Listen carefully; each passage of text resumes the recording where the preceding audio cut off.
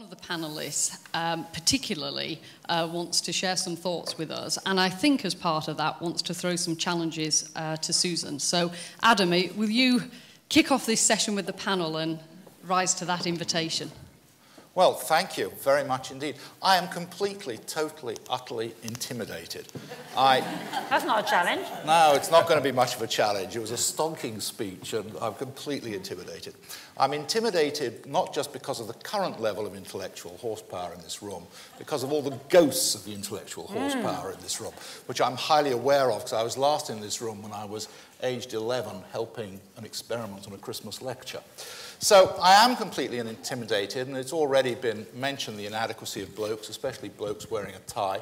We can't uh, multitask, and the thought of being, having to listen to the lecture, frame a question, talk at the same time. So I wrote it down, but it is That's in a long big. Question, yeah, but it's big print. It's size 16 print, so I've crossed out the first paragraph. So now, basically, of course, we are all technophilic monkeys. We just veer between sort of techno lust and techno bigotry.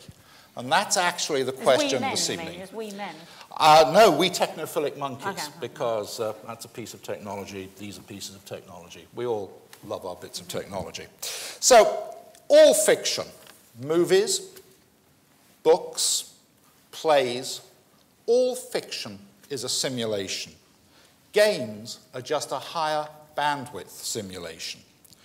If one thinks there is a difference between a Shakespeare play, War and Peace, or perfecting your character in World of Warcraft, is this not just techno bigotry?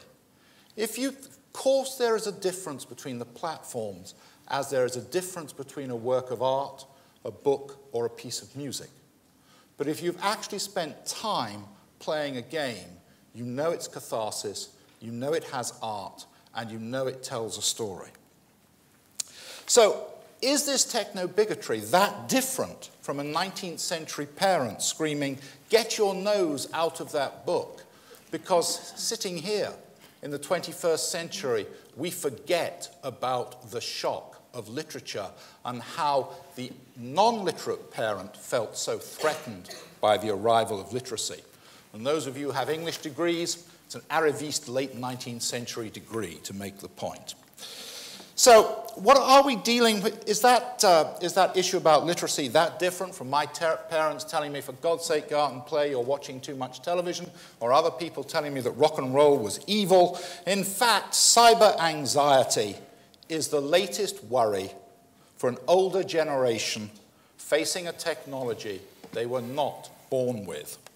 Now, let me give you a quote. We are dealing, as you heard this evening, we are dealing with the mental health of a generation, the care of which we have left too long in the hands of unscrupulous persons. These products could cause violence, juvenile delinquency, and contribute to homosexuality. This was said by Frederick Wertham in 1954 in his book Seduction of the Innocent.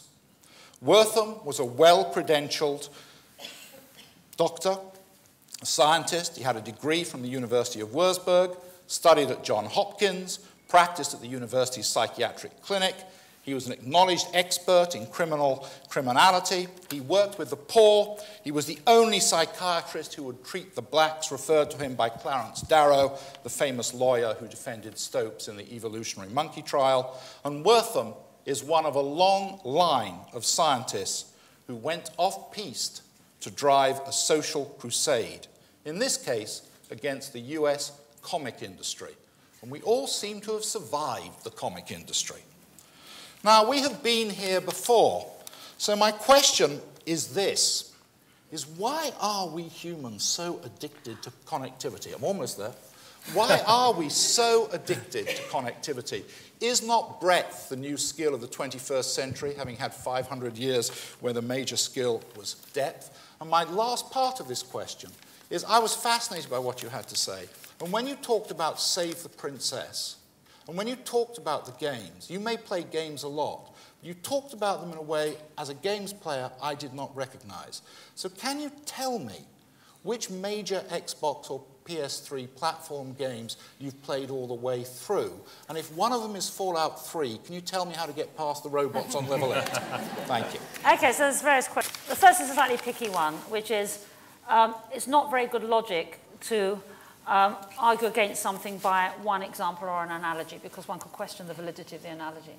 I could go back to you and say, what about the doctor that first drew a link between smoking and lung cancer?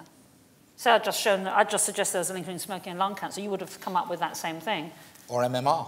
Yeah. So, so you know, I don't, I, no, but to just say one example of something that was inaccurate or silly is, doesn't invalidate something else. Yeah. So that's it. Um, the second comparisons of the technologies in each age, I think there is a very big difference in that they're now pervasive and invasive in a way they weren't.